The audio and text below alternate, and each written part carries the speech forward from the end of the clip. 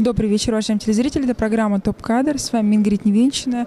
А, Мы находимся в Рис Карлтоне, где сегодня состоялась грандиозная презентация книги Султана Абишевича Назарбаева «Созидатель».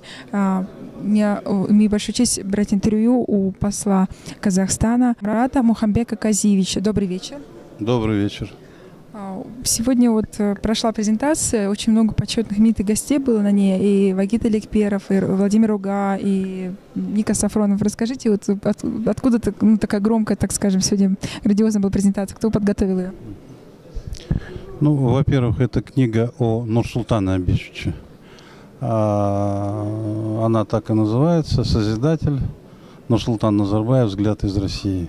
Особенность этой книги, и почему она вызвала интерес у разных людей и представителей а, разных а, социальных групп, скажем, от политиков до ученых и деятелей культуры, потому что эта книга не только семи э, российских блестящих журналистов, но это и книга, которая э, сочетает в себе взгляды нескольких десятков российских политиков, начиная от первых лиц государства, выдающихся деятелей культуры, э, Михалкова, Гергию, Спивакова, Церетели, а, целого ряда э, крупных общественных деятелей России. Поэтому это не только книга э, семей выдающихся журналистов, но это и взгляды примерно 50-60 а, видных представителей российской элиты, художественной, культурной, государственной, научной.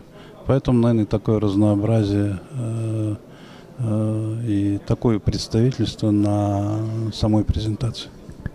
Спасибо большое, Амарат Мухамбек Казиевич. Скажите, пожалуйста, а какое ключевое качество у Нурсултана Абишевича как у политика и как у человека?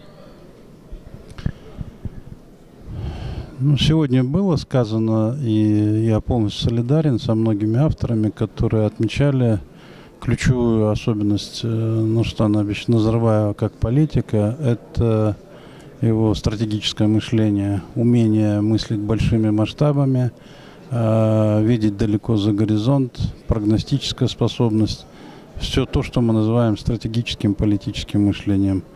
Но и кроме того, э, из человеческих качеств его отметил бы его умение и способность на протяжении многих лет. Э, те люди, которых он знал 20, 30, даже 40 лет назад, как можно было судить и на сегодняшней презентации по жизни вообще, он всегда хранит благодарную память и всегда умеет вычленить в людях самое лучшее и самое главное.